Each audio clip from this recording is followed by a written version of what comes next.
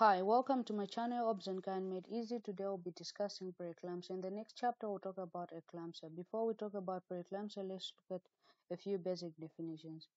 Hypertension. Hypertension is a blood pressure of systolic more than 140 and diastolic more than 90, measured two times at least six hours apart.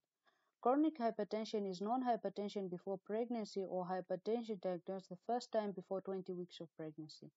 Pregnancy-induced hypertension is a hypertension that develops as a result of the gravid state. It includes gestational hypertension, preeclampsia, and eclampsia.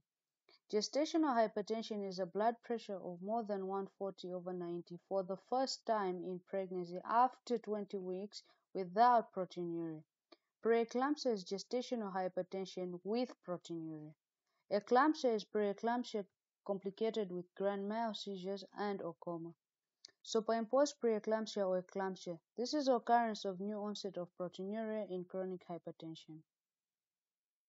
Preeclampsia is a multi-system disorder of unknown etiology characterized by a hypertension of systolic more than 140 and diastolic more than 90 with proteinuria after 20 weeks gestation age in a previously normotensive and non-proteinuric woman. However, some of the preeclamptic features may even appear before 20 weeks gestation age. This is seen in cases of a molar pregnancy and acute polyhydramnios. Now, to make a diagnosis of proteinuria, you can use a dipstick protein, a 24-hour urine collection specimen, and the albumin to creatinine ratio or protein to creatinine ratio.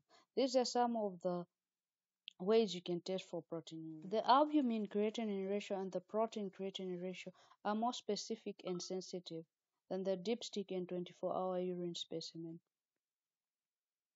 So in cases where you're not sure about the proteinuria, let's say a patient also has a UTI, because in a UTI, if you do a dipstick protein, you can have a protein of 1 plus or even trace. Okay, so in a cases where you're not sure about your dipstick proteinuria, you can use the albumin creatinine and the protein creatinine ratio to confirm the etiopathogenesis. Etiology is not clear, but it is thought that abnormal placentation is the initial event that leads to endothelial cell dysfunction and intense vasospasm, affecting almost all the blood vessels, especially those of the uterus, the kidney, the placenta bed, and the brain.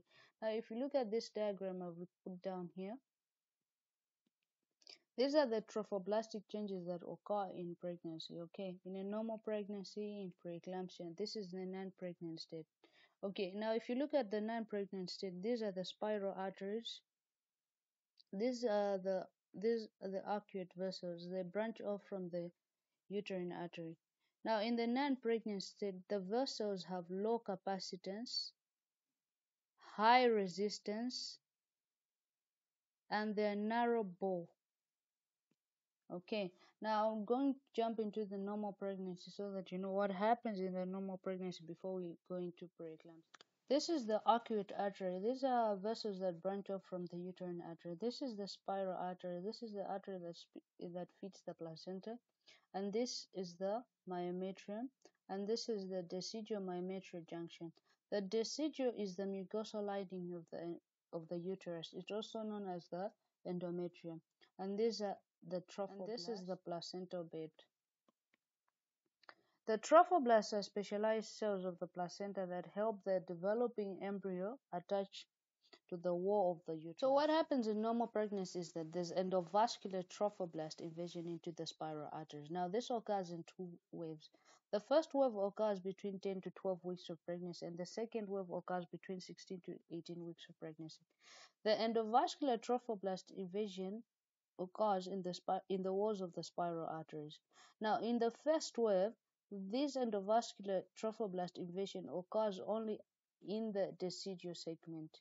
The second wave occurs where the trophoblast invades the spiral artery walls in the myometrial segment. This occurs between 16 to 18 weeks. This endovascular trophoblast invasion of the spiral arteries replaces the endothelial lining and the muscular arterial walls by fibrinoid formation. The spiral arteries then become distended and funnel shaped. So these physiological changes that occur during trophoblast invasion transforms the spiral arteries into low resistance, high capacitance, and wide bore vessels.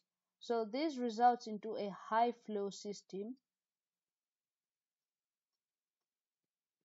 which results in adequate blood supply perfusion to the placental bed. So what happens in preeclampsia is the ease endovascular trophoblast invasion of the spiral arterial walls in the first to 10 weeks, also known as the first wave.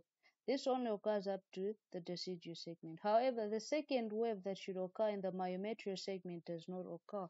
So there's no trophoblast invasion of the spiral arteries in the myometrial segment. Remember, this occurs between 16 to 18 weeks.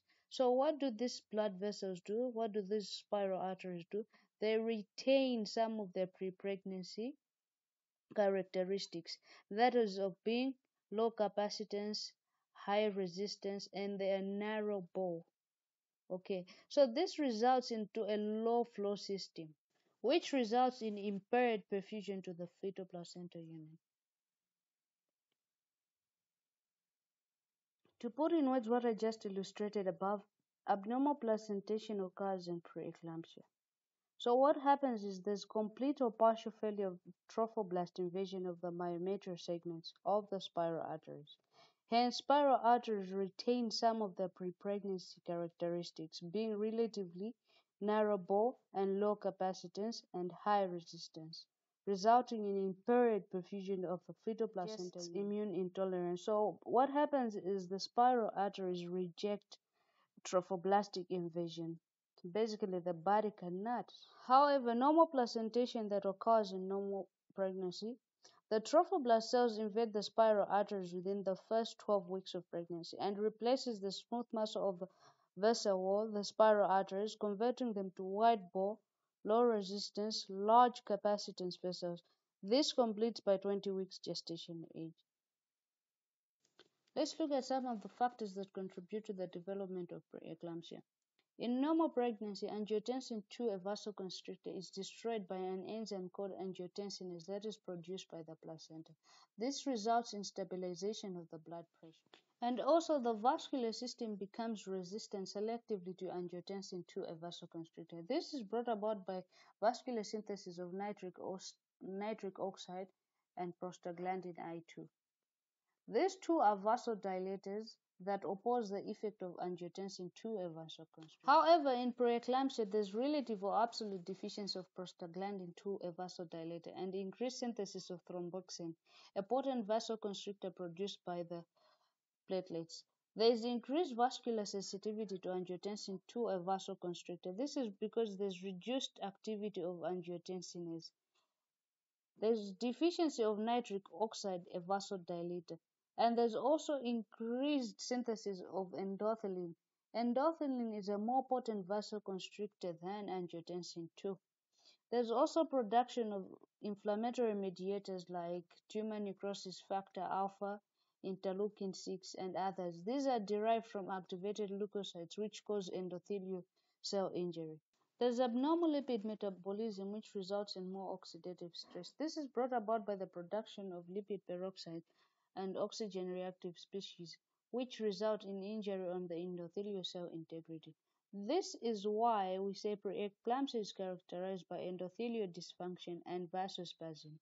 Endothelial dysfunction is due to oxidative stress and the inflammatory mediators, whilst vasospasm results from the imbalance of vasodilators like prostaglandin and nitric oxide, and vasoconstrictors like angiotensin II, thromboxane, and endothelin. Risk factors primigravidas. This is their first pregnancy. It is more common in primigravidas. This is because this is their first time exposure to the trophoblast. So what happens is that uh, in the normal fetal maternal transfusions that occurs during pregnancy and especially during delivery, it exposes the mother to products of the fetal genome. These products are in the next pregnancy. So the primigravidas have not yet been exposed to the trophoblast. This suggests immune intolerance. This also occurs in new paternity. This is because the protective effect of the first pregnancy seems to be lost if a woman has a child with a new partner. More risk factors extreme of age, multiparous with preeclampsia in previous pregnancy, multiparous with 10 years or more since last baby, pre-existing hypertension like chronic hypertension, polycystic ovarian disease, family history of hypertension and preeclampsia, and obesity, a BMI of more than 35, Placenta abnormalities like in molar pregnancy, twin pregnancy, polyhydramnios, and diabetes.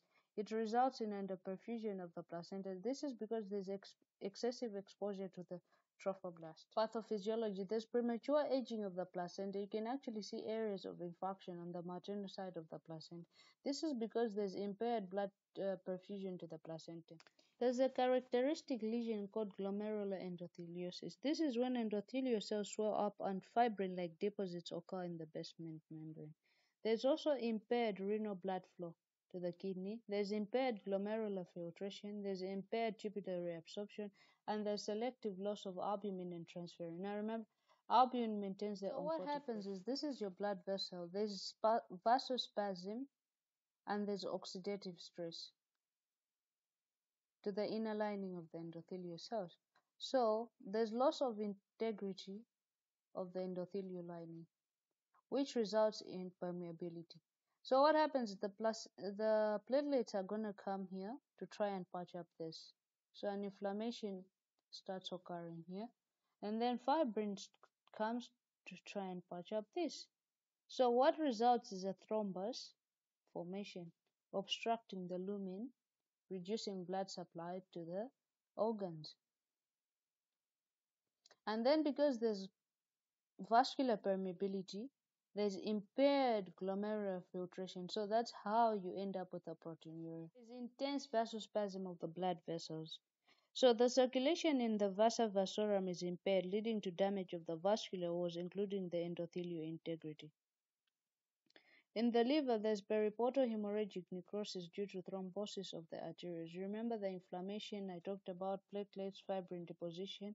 It results into a thrombus formation. A subcapsular hematoma can also form. Endothelial fibrin deposition results into a parenchymal necrosis of, of the liver, which is associated with increased liver enzyme. When there's an increased liver enzyme, it essentially means there's some damage to the liver.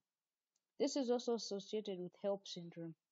HELLP syndrome is H for hemolysis, EL for elevated liver enzymes, and low platelets occur because there's consumption of platelets in the blood vessels at different sites. It's not just one blood vessel. This is occurring in many sites, the kidney, the liver, the retina, the brain. So what happens is because of the loss of integrity of the endothelial cells, there's damage to the endothelial lining. So platelets come to patch up this at different sites in the brain, kidney, liver. So there is systemic consumption of platelets. That's why we end up with a low platelet count. There's vasospasm of the blood vessels of the brain, which result into capillary thrombosis, infection, intraventricular and parenchymal hemorrhages which result into cerebral edema. There's also vasospasm of the retinal blood vessels. In cardiovascular and respiratory system, you remember I said in preeclampsia the vessels show hypersensitivity to angiotensin 2, a vasoconstrictor, and other vasopressors like endothelin and uh, thromboxane, which are potent vasoconstrictors. So this increase this results in an increased intravascular high pressure and loss of endothelial cell integrity, which results in a greater vascular permeability and contributes to the formation of edema. This results in heart failure and pulmonary edema. I'll explain more just now under edema. So, how does edema occur? There's increased oxidative stress on the endothelial cell. So, what results is an endothelial cell injury, which results in loss of integrity of the endothelial cell. So, these capillaries become leaky Okay. There's increased capillary permeability. So this is the intravascular system. So there's loss of plasma. Plasma starts coming out of this intravascular system into the interstitial cells. Once plasma comes out of this intravascular system, there's reduced oncotic pressure in, in the intravascular system. So the body now starts retaining sodium and water to bring back the intravascular pressure to normal. And once this occurs, the intravascular pressure is brought back to normal or might even become higher. The pressures might even become higher. Fluid again starts moving out into the interstitium. This results in edema. Proteinuria can also result into edema. How does this occur? There is spasm of the afferent glomerular arteries So what does this do? It squeezes these blood vessels shut and results in two hypoxic injury to this tuft. The tuft is just a branch of vessels that form part of the basement membrane. So once there's hypoxic injury to this, there's inflammation, there's uh, platelet aggregation, fibrin deposition. So the endothelial cells start swelling up now. So this characteristic lesion is what we call glomerular endotheliosis. Now, due to loss of integrity of these endothelial cells here of the basement membrane, there is increased capillary permeability. So we have the proteinuria. There's leakage of protein. Now remember I said albumin is one of the proteins lost in urine. And albumin is important in maintaining the oncotic pressure. So once you lose albumin in your urine, the oncotic pressure reduces in the intravascular system. Okay, now the body now starts retaining sodium and water to maintain this intravascular pressure.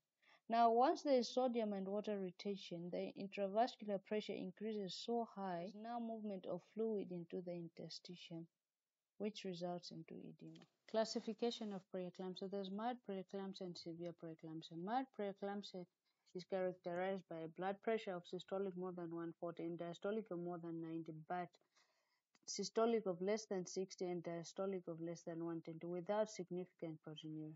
The proteinuria should be at least 0.3 grams in a 24-hour urine specimen or 1 to 2 plus on the dipstick examination. Remember the blood pressure should be measured at least two times and should be at least 4 to 6 hours apart. Severe preeclampsia. This is persistent blood pressure of systolic more than 160 and diastolic more than 110 with proteinuria.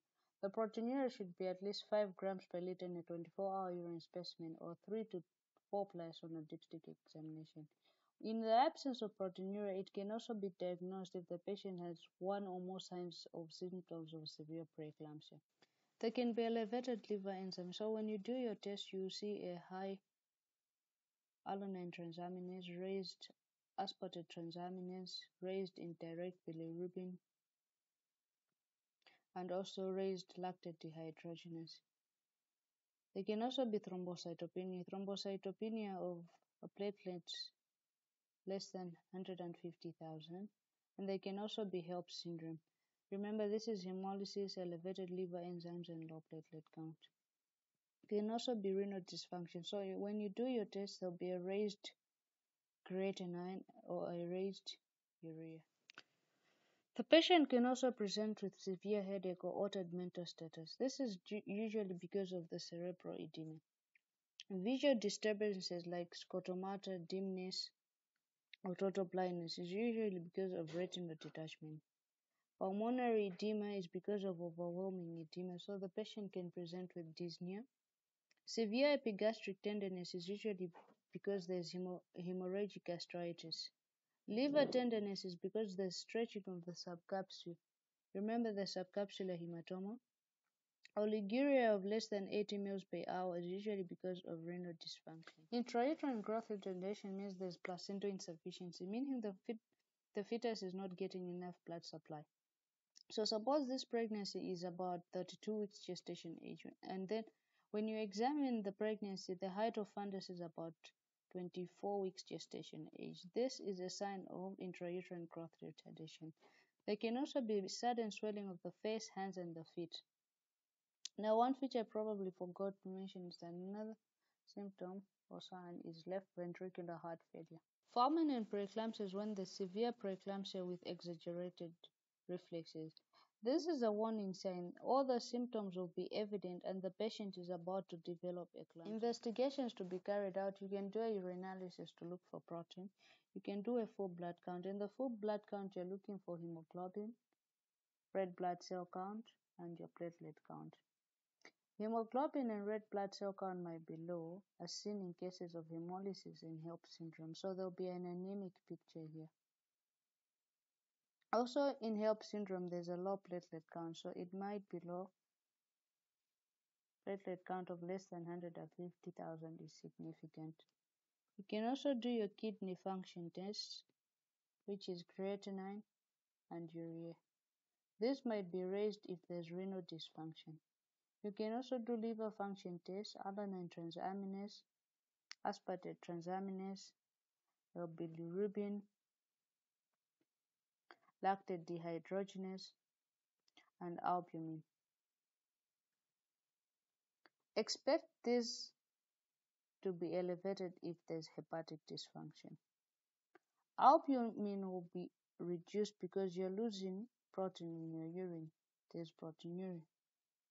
The clotting time will be might be raised or might not be raised, but if it's more than 10 minutes, this is alarming because you might have prolonged bleeding in this patient.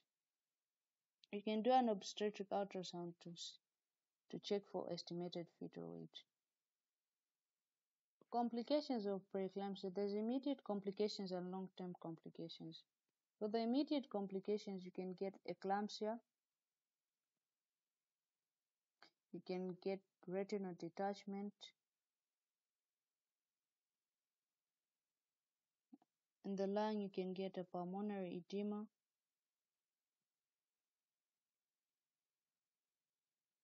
in the heart you can get a left ventricular heart failure, in the kidney you can get renal failure, and you can get suprarenal gland failure, also known as Addison's disease. And then in the liver, you can get liver cell failure.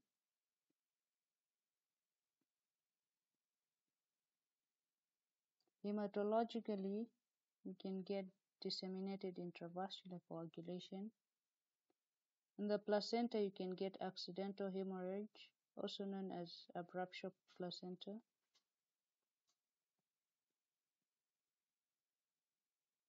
In the fetus, you can get intrauterine growth restriction, intrauterine fetal demise, and prematurity. You can also get antepartum hemorrhage and postpartum hemorrhage.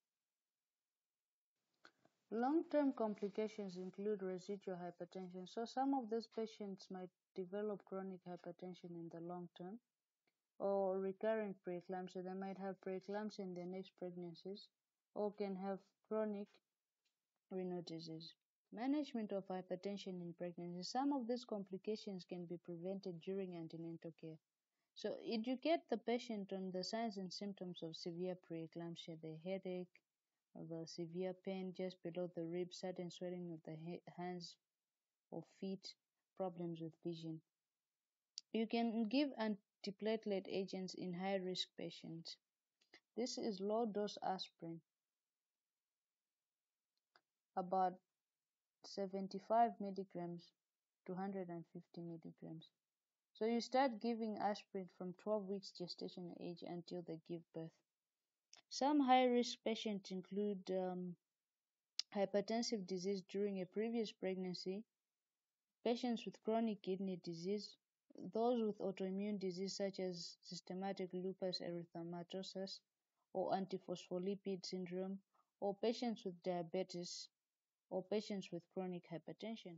Patients at moderate risk, you can also give low dose aspirin are those who are having their first pregnancy, more than 40 years old, pregnancy interval of more than 10 years, uh, body mass index of more than 35, family history of preeclampsia, and those with uh, multi-fetal pregnancy like twins. Lifestyle changes in high-risk patients like diabetics, chronic hypertensive patients, obese patients encourage them on a diet, exercise, and rest. And then also assess proteinuria on each antenatal care visit for this Management of chronic hypertension. Lifestyle changes I have already mentioned. You have to switch them from their previous antihypertensive. Most of these patients would have been on ACE inhibitors, thiazide diuretics. So now discuss with them that these drugs, ACE inhibitors and thiazide diuretics, can cause fetal congenital, congen, fetal congenital anomalies. So you have to switch them to safe antihypertensives in pregnancy like labetalol, nifedipine, or methyldopa. Give them low dose aspirin 75 milligrams to 150 milligrams from 12 weeks gestation age until de they deliver. Now, if their BPs are well controlled, they're less than let's say 140 over 90. The target blood pressure is 135 over 85. So if their blood pressures are well controlled, it's less than 140 over 90. Deliver this patient at 37 completed weeks. Only deliver early if it's necessary. Means of delivery is induction of labor and cesarean of labor when there's a good bishop score, let's say more than seven, and cesarean section when there's a bishop score. Remember to discontinue methyldopa after two days of delivery. their blood pressures postnatally. Management of gestational hypertension. If the BPs are let's say ranging from 140 to 159 systolic and diastolic ranging from 90 to 109, These are usually outpatients which you can be seeing in antenatal. You should put them on antihypertensives, labetalol or nifedipine or methyldopa. Advise patients to have a BP profile. Tell them to take their BP measurements at home or at their nearest clinic and come with them during the antenatal care visit. Now, during antenatal care, remember these patients should be checked protein in urine, assess liver function tests, urea and creatinine, and full blood count. If the blood pressure is systolic more than 160 and diastolic more than 110, manage as a severe hypertension. Admit this patient and manage as hypertension as a hypertensive agent. Put this patient on antihypertensive. Most commonly used drug is hydralazine when the diastolic blood pressure is more than 110. So hydralazine is about 5 milligrams to 10 milligrams given every 15 to 30 minutes until the diastolic blood pressure is less than 110. Collect urine for proteinuria and collect blood for full blood count, liver function tests, renal function tests to assess any damages on the kidney and the liver and if there's any HELLP syndrome. Discharge only when the BPs are controlled. Gestational hypertension will deliver at the seven completed weeks if the BPs are well controlled. Early delivery is only when the BPs are not well controlled. Induction of labor or cesarean section depending on the bishop score. Postnatal BP control, I said you can discontinue methyldopa after two days of delivery. Continue monitoring this patient for BP. Management of mild preeclampsia. You manage as in gestational hypertension as above. Make sure these patients are coming for antenatal care every week until the end of severe preeclampsia. Admit to the special observation unit. Involve your senior. Put the patient on antihypertensives, labetalol or methyldopa or nifedipine. If the diastolic blood pressure is more than 110, put the patient on hydralazine until the diastolic blood pressure reduces to less than 110. Start this patient on magnesium sulfate. Remember, magnesium sulfate prevents eclampsia. So you give a loading dose of 4 grams intravenously, 5 grams intramuscular in each buttock, so that's 2.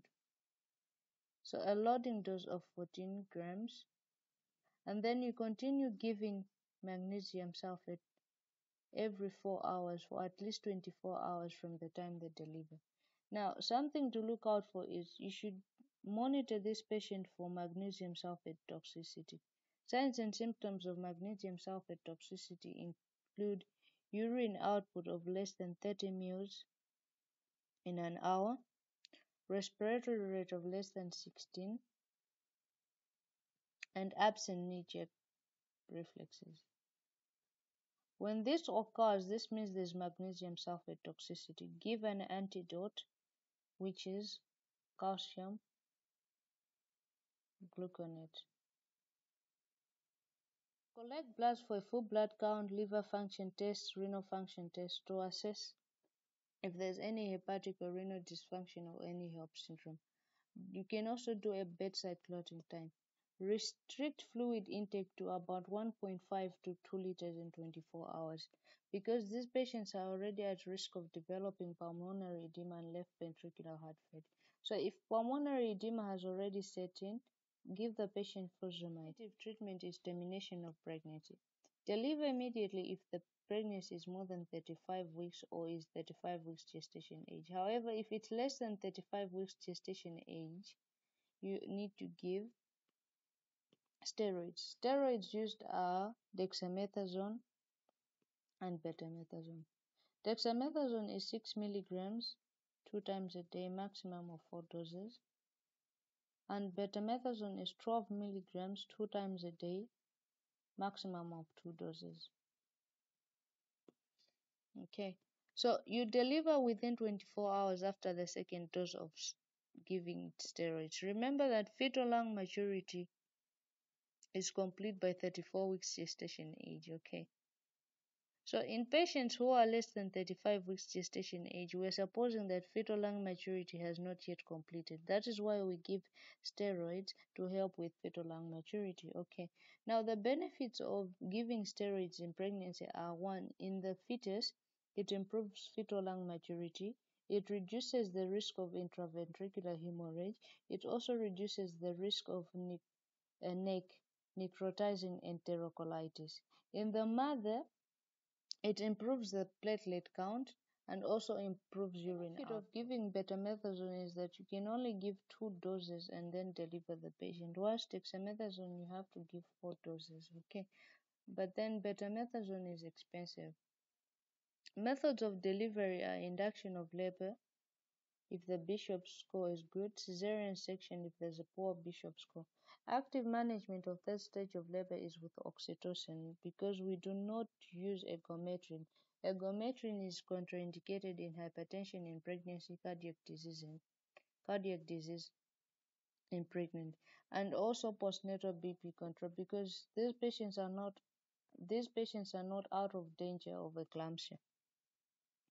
Now, something I wanted to mention on the signs and symptoms of severe preeclampsia.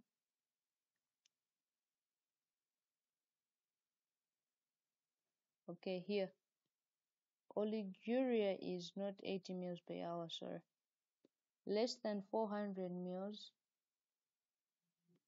in 24 hours. Discussion on preeclampsia. The next chapter is going to be on eclampsia with I, kid introvert. Don't forget to subscribe to this channel for more videos. Okay.